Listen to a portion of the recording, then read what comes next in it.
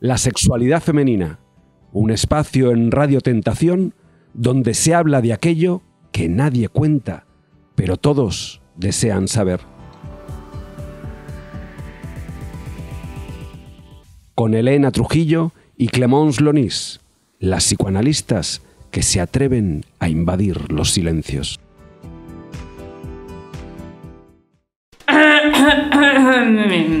Sí, sí. Disimulo, pero ha llegado la hora de la sexualidad femenina. Buenas noches, Elena Trujillo. Muy buenas noches, Clemón Lunís. Las psicoanalistas de la radio están aquí con ustedes. ¿Cómo estamos esta noche? Pues estamos preparadas, al menos eso creo. Muy bien, muy bien. Esa es una manera de comenzar. Recuerdo que dijiste que la última vez que hoy íbamos a hablar del amor y del enamoramiento, ¿es cierto? Ay, creo que les prometí tal cosa y bueno, voy a cumplir con mi compromiso social. Muy bien. Porque están relacionados el enamoramiento y el amor, pero tienen connotaciones bastante diferentes. Recuerdo que el último día decías tomando un, poema de Carilda Oliver Labra, que el amor era algo social. Eh, hablabas de lo he besado poco y es cierto que, cuando uno ama a otra persona, pues quiere encontrar con la otra persona, quiere eh, disfrutar de su compañía o de, o de sus palabras o de sus besos o de su cuerpo. Pero fíjense que el amor es indiscutiblemente social, es entre otros, por tanto el amor tiene que estar reñido con cualquier situación de exclusividad, cualquier situación que te lleve a la soledad con tu partener o con tu persona amada. Mientras que el enamoramiento, que es esa primera atracción, ese primer empuje que nos lleva a unirnos, a acoplarnos, a conocer a una persona y que está lleno de, esas ilusiones y de esa atracción que uno siente intensamente. bueno, pero el enamoramiento no es solamente al principio.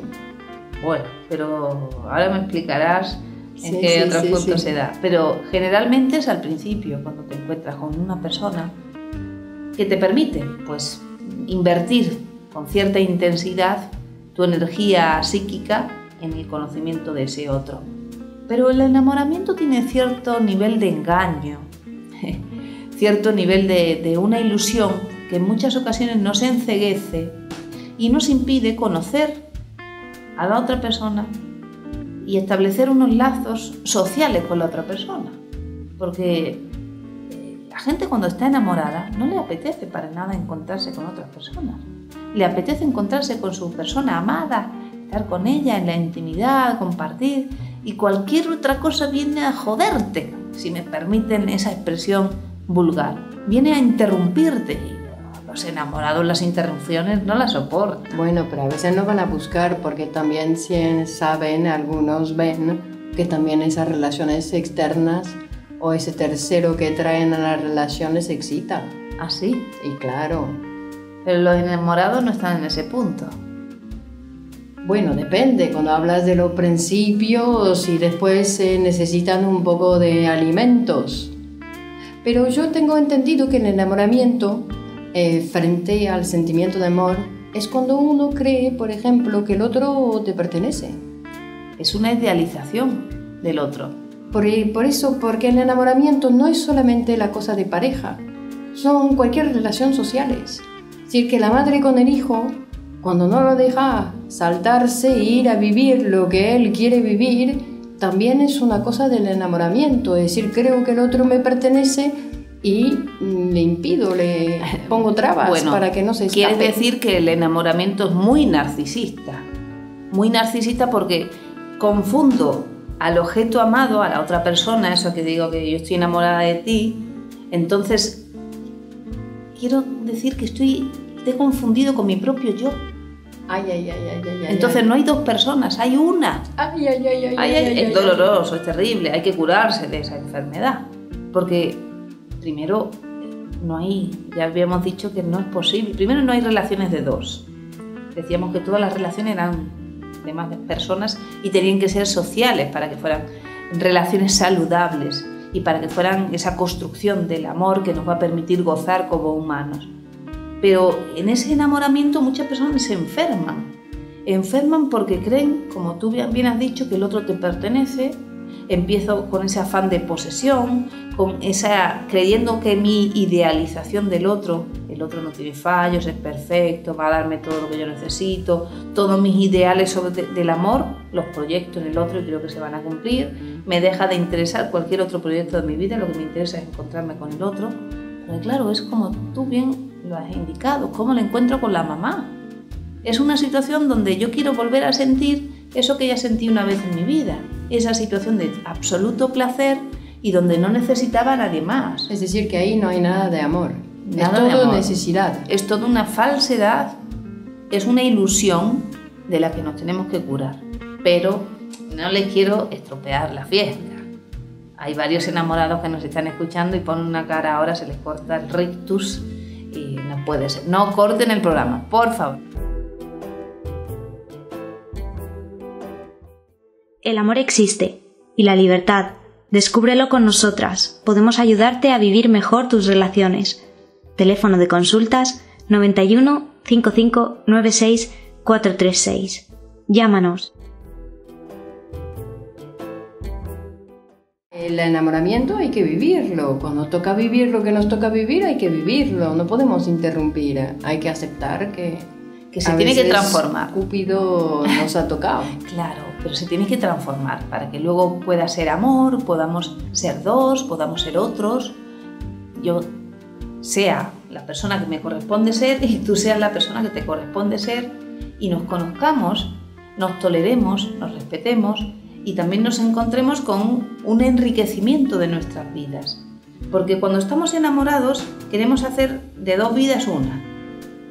Y queremos aunar los gustos, aunar los tiempos, encadenarnos. Y en ese encadenamiento como la bola de, de acero que te lleva al fondo del pozo. Al final uno que casi quiere escapar. Pero el amor no es así. ¿Cómo es el amor? Ay, el amor es tan bonito. No, justamente no es tan bonito. Es otra cosa. No es tan bonito. El amor es poder dejar que el otro sea feliz sin mí. ¡Ah! Eso Pero no, me, no, me Jacques, Jacques Prévert en un poema, un poeta francés que lo decía así que se atrevía, decía, aunque te vayas, amarte es aunque te vayas y te vayas con otro si tú quieres estar con otro, dice el poema. Y que vuelvas, si quieres volver. dejar al otro libre, digo, en relación de pareja. Eso es amar. Pero hay que ser bastante sano, bastante civilizado para, para poder tolerar, para poder tolerar eso sí. Y seguro que hay personas que nos escuchan que dicen, yo lo siento, lo siento así, porque yo quiero a mi pareja, pero no quiero que sea infeliz a mi lado. Yo veo que cuando se encuentra con otras personas, está feliz, y luego viene a casa o se encuentra conmigo y comparte su felicidad, no sus relaciones o no su gusto conmigo, su felicidad.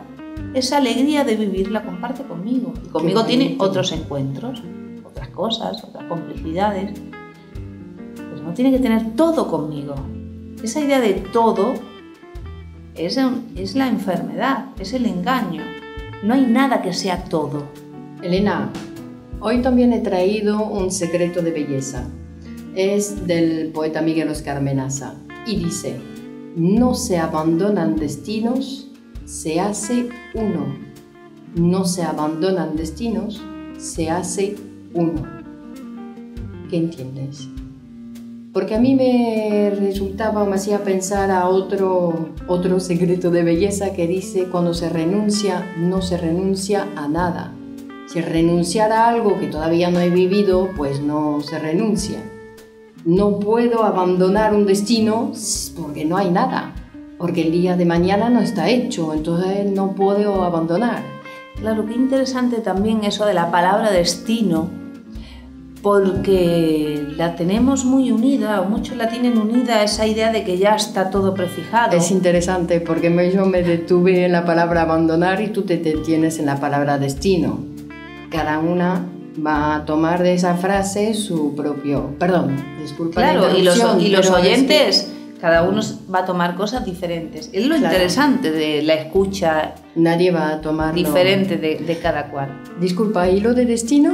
Bueno, lo de destino porque dependiendo de cómo uno conciba las cosas, también así las vive. Por eso es conveniente romper sentidos y aprender mm, que hay otras formas de escuchar, que hay otras formas de combinar las palabras, que la palabra destino, si yo la pienso como que el destino es de A a B, o mi destino me va a llevar a un determinado lugar como si ya estuviera prefijado, vivo la vida de, de una manera determinada, tomo las decisiones de una manera determinada. Si mi destino me lleva a esta persona, pues tal y cual.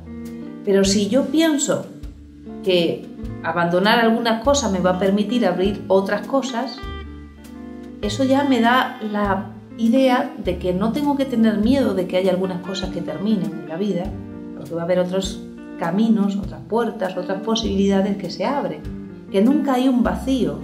Por tanto, ese pensamiento deprimente o depresivo, donde me quedo con la idea de que no quiero perder o que algo se pierde y ay, qué lástima y que ay, algo no va a ser, en lugar de pensar que, que va a ser algo que es mejor que te Claro, corresponde. que el psicoanálisis dice, ¿no?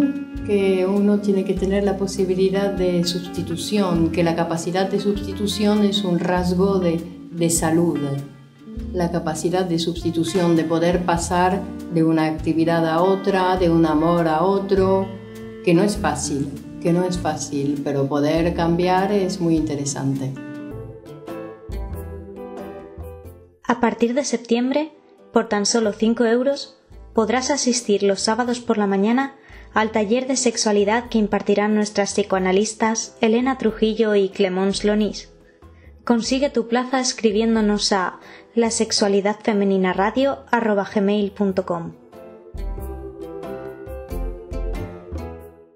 ¿Qué buscas, Elena?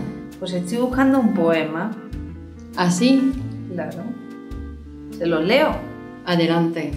Es del libro La mujer y yo, de Miguel Óscar Menasa. Ya dijiste en un programa anterior que es nuestro maestro, es un, es un psicoanalista, es un gran poeta. Y Un gran escritor, y tiene, un montón de libros escritos y nos alimentamos con todos esos Claro, y libros. sobre todo para las mujeres. Es un, un maestro para que nosotras podamos construir una feminidad distinta a la que vivimos actualmente. Este es el poema de La mujer y yo número 7. Dormíamos tranquilamente, cuando ella se levantó sobresaltada y me dijo, hoy quiero tener una aventura, vivir lo no vivido, amar lo inexistente. Y ya sé que son las 3 de la mañana, pero quiero andar un camino nuevo donde no quede un solo rastro de mí. Así que, por favor, escúchame. Y no es que a mí exactamente me guste dormir de noche, pero estaba dormido, soñando tonos del ocre sobre el negro. Primero tuve ganas de decirle, déjame de joder, o bien indiferente, parece poca aventura vivir a mi lado. Pero le dije, dulcemente, haciendo gala del uso calculado de mi serena voz cuando pronuncio las vocales. Oh, diosa, portadora del dolor, te escucho. Soy esa oreja invencible. Habla. Di al viento lo que será del viento y nadie escuchará. Ella, tímidamente, recogió la ofrenda y preguntó, ¿entonces puedo hablar? Decir lo que me pasa por la mente sin convenciones, sin moral, sin castigos. Bueno, le dije, a fin de mes me tienes que pagar. Y ella se desmayó por primera vez en su vida, aunque por poco tiempo. Luego se despertó y preguntaba ansiosa, ¿qué pasó? ¿Qué pasó? ¿Qué fue lo que pasó? Nada, le contesté. Tuviste un orgasmo magistral. Antes de desmayarte, te retorcías y saltabas. ¿Pero qué estás diciendo? ¿Que yo me retorcía? No, le dije. Te estoy diciendo que tuviste un orgasmo y era hermoso ver cómo se descomponía tu bello rostro con el goce. ¿Mi bello qué? ¿Pero qué estás diciendo? Tu bello rostro, amor mío, tu bello rostro, esa belleza donde renace cada vez el goce. En ese momento, ella dijo, te amo. cuando mi belleza reina en ti, te amo. Y no era para menos. Esas palabras que le había dicho antes eran todas de la poesía. Te amo, decía ella, mientras se desnudaba. Hoy haré de ti, amado, mujer y bestia. Alondra que deja de volar porque llega al mar. Gacela que escapa sin escapar y se la come el viento. Leopardo seducido por las luces de la pólvora que lo matará. Te haré, mi amado, te haré. Algo avergonzado, la interrumpí y le dije, ¿para qué tanto? Y ella me respondió con una pregunta. ¿Amas a otra mujer? Eso es lo que pasa. Y entonces, desesperado, al borde del abismo, decidí darle lo que le pedía cuando le dije, sí, estoy enamorado de otra mujer. Y ella nunca dejaría de sorprenderme. Me gustaría conocerla, dijo, y se quedó dormida. A la mañana siguiente, al desayuno, antes de ir a los trabajos, me besó agradecida y me dijo, qué aventura que tuvimos anoche, querido, qué aventura. Muy bien, muy bien. Es una historieta, es un encuentro, una conversación, un poder conversar. Aunque él no entiende muy bien lo que le pasa a ella, pero la deja hablar. Y ahí se va produciendo el amor. Ahí se va produciendo el amor. Bueno, nosotros tenemos que despedirnos por hoy. Nos encontramos la próxima. Buenas noches. Buenas noches. En la noche éramos eternos. Moríamos cada vez como para siempre. Primero los dos juntos, después nos besábamos y volvíamos a morir cada cual en su tiempo. Y volvíamos a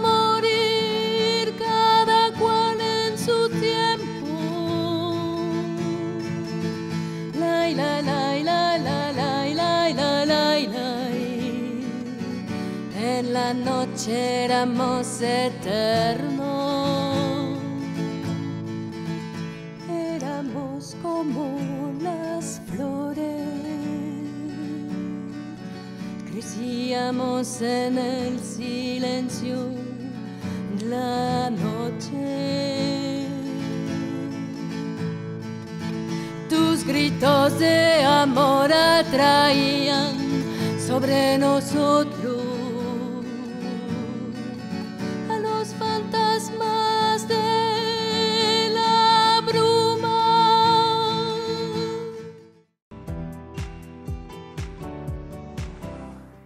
La sexualidad femenina, un espacio en Radio Tentación donde se habla de aquello que nadie cuenta, pero todos desean saber. Con Elena Trujillo y Clemence Lonis, las psicoanalistas que se atreven a invadir los silencios.